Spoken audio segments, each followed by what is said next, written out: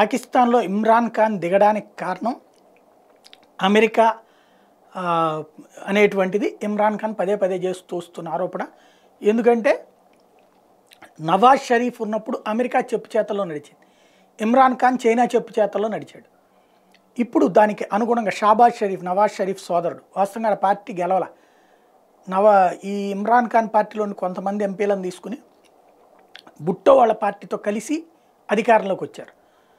సంపూర్ణ మద్దతు కాదు. జనంలోకి వెళ్ళేందుకు సిద్ధపడట్లేదు. అదేమంటే వచ్చే ఏడాది టైం ఉందని. నవాజ్ షరీఫ్ వస్తే తనకు ప్రాబ్లం అని భావిస్తూనే ఇస్లామాబాద్కి మార్చిని ప్రకటించాడు ఇమ్రాన్ ఖాన్. ఈలోపు కాల్పులు జరిపి తనని కూర్చోబెట్టారు. అయినా మార్చి మళ్ళీ ప్రారంభిస్తున్నాడు. ఈలోపుగా నవాజ్ షరీఫ్ని అందుకనే అర్జెంటుగా వెనక్కి తీసుకొచ్చేశారు.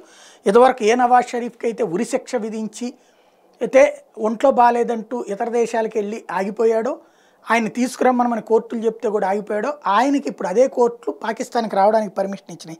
అక్కడ చివరికి న్యాయస్థానాలు కూడా ప్రభుత్వాల చేతుల్లోనే నడుస్తాయనడానికి సాక్ష్యం. పాకిస్తాన్ మాజీ ప్రధాని పాకిస్తాన్ ముస్లిం లీగ్ నవాజ్ పార్టీ వ్యవస్థాపక అధ్యక్షుడు నవాజ్ షరీఫ్ పాకిస్తాన్కి తిరిగి రాబోతున్నారు. లండన్లో ఉంటున్న షరీఫ్కి పాకిస్తాన్ ప్రభుత్వం దౌత్య పాస్పోర్ట్ మంజూరు చేసి దీంతో డిసెంబర్లో షరీఫ్ పాకిస్తాన్ రాబోతున్నారు. ముందస్తు ఎన్నికలు నిర్వహించాలని ఇమ్రాన్ ఖాన్ డిమాండ్ చేస్తున్న నేపథ్యంలో ఎన్నికల్లో పోటీ చేయించడానికి షరీఫ్ని రప్పిస్తున్నారని ఆరోపణలు వస్తున్నాయి. ఈ ఆరోపణలు పిఎంఎల్ఎన్ ఖండించింది. కాగా నవాజ్ షరీఫ్ రెండు వేల పంతొమ్మిది నుంచి లండన్లో ఉంటున్నారు. అవినీతి కేసులో పాకిస్తాన్ కోర్టు షరీఫ్ను దోషిగా తేల్చింది. దీంతో అప్పటి ఇమ్రాన్ ఖాన్ ప్రభుత్వం షరీఫ్ దౌత్య పాస్పోర్ట్ను రద్దు చేసిన అప్పటి నుంచి రానోడు ఇప్పుడు వస్తున్నాడు అనమాట